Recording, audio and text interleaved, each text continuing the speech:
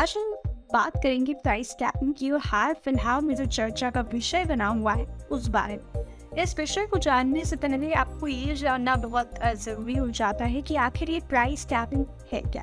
तो price capping का अर्थ किसी उत्पाद का एक निश्चित मूल्य तय करना होता है, जिसके बाद उस उत्पाद को अगर उस रेट से ज़्यादा या कम कीमत पर खरीदा जाता है तो कई प्रतिबंधों का सामना करना पड़ता है। यानी किसी चीज़, वस्तु का आप एक स्पेसिफिक प्राइस रख लीजिए और बाद में यदि उस स्पेसिफिक प्राइस से ऊपर नीचे कोई दाम दिया जाता है तो आपको उसमें बहुत सारी रेगुलेशंस और प्रतिबंधों का सामना करना पड़ सकता है। लेकिन इस बार पहले के मुकाबले उल्लंघन करने वालों को काफ़ी छूट भी दी गई है। आज हम बात कर हाल फ़िलहाल की हुई केस के बारे में। जहाँ पहले उल्लंघन करने पर जहाजों पर हमेशा के लिए प्रतिबंध लगता था, वहीं अब इसे केवल नब्बे दिन का कर दिया गया है।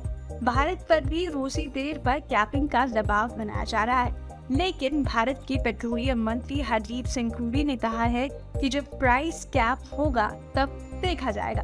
पहले से इसका डर ठीक नहीं है। लेकिन मंत्री के बयान के इधर दुनिया की बड़ी रिफाइनिंग कंपनी रिलायंस इंडस्ट्रीज़ ने 5 दिसंबर के बाद का कोई भी ऑर्डर नहीं दिया है। चीन में कोविड 19 के प्रकोप को रोकने के लिए लागू किए गए प्रतिबंधों सहित अन्य कारणों से कच्चे तेल की मांग और कीमतें प्रभावित हो रही थी।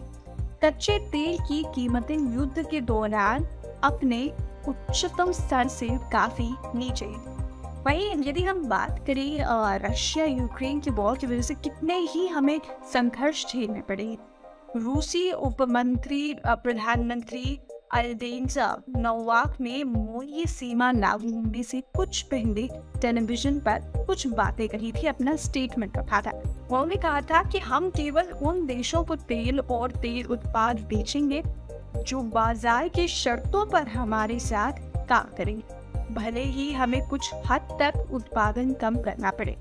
इधर रूस के खिलाफ नए पश्चिमी प्रतिबंधों के असर को लेकर अनिश्चितता के बीच सऊदी के नेतृत्व वाले ओपेक और अन्य संबंधित तेल उत्पादकों प्लस ने वैश्विक अर्थव्यवस्था के लिए तेल आपूर्ति के अपने लक्ष्य को नहीं बदला।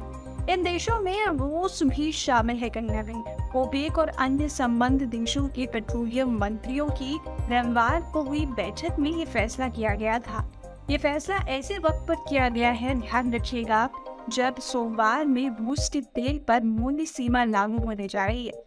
रूसी राष्ट्रपति पुतिन ने इराक के प्रधानमंत्री मोहम्मद शिया अल सुदारी से मुलाकात के दौरान बातचीत में ये भी कहा था कि पश्चिमी देशों की तरफ़ से लाया गया प्राइस कैप बाज़ार सिद्धांतों का उल्लंघन करता है। इससे विश्व के ऊर्जा बाज़ार पर गंभीर संकट आ सकता है।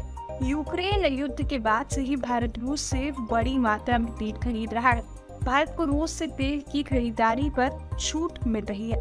अमेरिकी व पश्चिमी देशों के विरोध के बावजूद भारत और रूस के बीच तेल की लेन देन जारी है। मीडिया रिपोर्ट्स की मानिए तो अगर रूसी तेल पर प्राइस कैप लगाया जाता है तो उससे भारत भी प्रभावित होगा। और जब प्रभावित होगा तो हम सब प्रभावित होंगे।